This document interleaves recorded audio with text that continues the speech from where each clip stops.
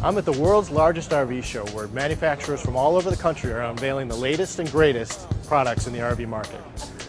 Let's take a look at the coolest and newest innovations in RV travel. I'm Brad Herzog. Come take a trip with me. A lot of people like to travel in their RV with their pets, their dogs or their cats. With these new sport utility RVs, you have room for your rhino. Are you a sports fan? Well, you can't do much better than the ultimate tailgating RV. It includes a bar that serves people inside and out, and four televisions, as well as a pull-out swivel grill. Sounds like a sports fan's dream. Here's something new this year. It looks like a bedroom, but watch this. It's actually a Murphy bed. You put it up, and all of a sudden you have a rear living room with two couches in it. I have two young sons, and when I think of three things I like, I think of sleeping in bunk beds, watching DVDs, and building forts. Here we have a bunk bed with a built-in DVD player. And if you close this, your very own personal fort. Now that's a kid-friendly RV. Here I am in the rear bedroom uh, of a motorhome.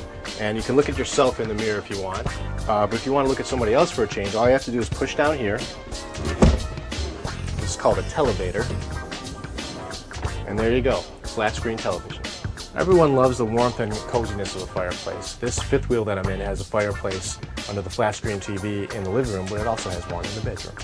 Increasingly, RV enthusiasts want to have their favorite things about their house in their RV as well.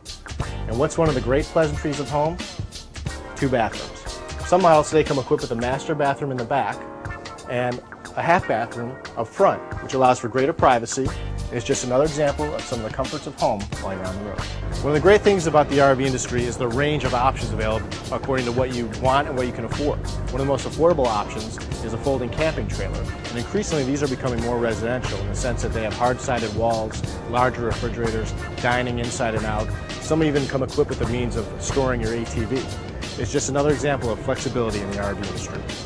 So go to your nearest RV show and check out the latest models, or better yet, go to GoRVing.com and check out the RV experience.